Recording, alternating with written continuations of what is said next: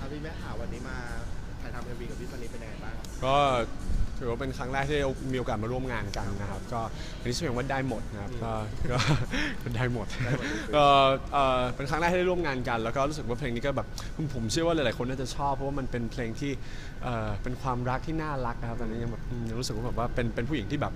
เราเป็นผู้หญิงง่ายๆนะอะไรเงี้ยอย่าเพิ่งคิดว่าแบบเราจะแบบเข้าถึงยากอะไรเงี้ยผู้ชายหลายๆคนก็ชอบคิดว่าถ้าเกิดเจอผู้หญิงสวยๆอะไรเงี้ยเราแบบอาจจะแบบจีบยากหรือแบบว่าสามารถจะคุยยากอะไรเงี้ยแต่ว่าจริงๆแล้วบางทีเขาอาจจะแบบเป็นคนง่าย ๆ ก็ได้ครั้งนี้เรามา featuring หรือว่ามาร้องคู่กันเออจริงๆจริงๆมา featuring เฉยๆครับมามาเฉพาะท่อนแร็ปท่อนนึงก็มีโอกาสได้ไปเขียนแร็ปให้เขาแล้วก็ได้เข้าไปอัดแร็ปด้วยครับใช่เป็นไงบ้างการทำงานร่วมกับพี่ซันนี่ง่ายมากง่ายมากเพราะว่าเพราะว่าจริงๆเราเป็นเพื่อนกันมานานมากรู้จักกันมานานมากแล้วครับแต่ว่าเพิ่งได้ร่วมงานกันครั้งนี้เป็นครั้งแรกรู้สึกไม่ได้เกรงอะไรเพราะว่าก็ก็รู้จักกันอยู่แล้วครับ พี่ซันนี่มี request อะไรไหมแบบขอท่อนที่แบบว่าโอ้เหลือเพลง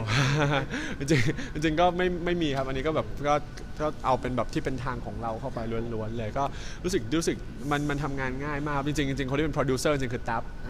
วันเอ่อวันทูทรีโซนะครับก็ยิ่งง่ายเข้าไปใหญ่เลยเพราะว่าเราก็รู้จักกันอยู่แล้ว คือคือทุกคนก็ในในทีมงานก็รู้จักกันหมดก็เลยง่ายครับ เชื่อว่าเพลงนี้ติดหูคนฟังแน่ๆผมเชื่อว่าน่าจะเป็นอย่างนั้นเพราะว่าเพลงมันน่ารักมากครับลองไปฟังดูนะครับได้หมดนะฮะ อะครับฝากแล้วกันเนาะกับเพลงนี้ขอนิดนึงก็ก็ฝากติดตามด้วยแล้วกันครับ ได้หมดก็เอ่อเป็นงานของเพื่อนเราเองครับซันนี่นะครับก็ฝากไว้ด้วยนะครับก็ฝากไว้ด้วยนะครับแล้วก็งานนี้มีมีมีเรามาเข้ามาฟีเจอริงด้วยนะครับฝากด้วยครับซานินะครับได้หมดนะครับ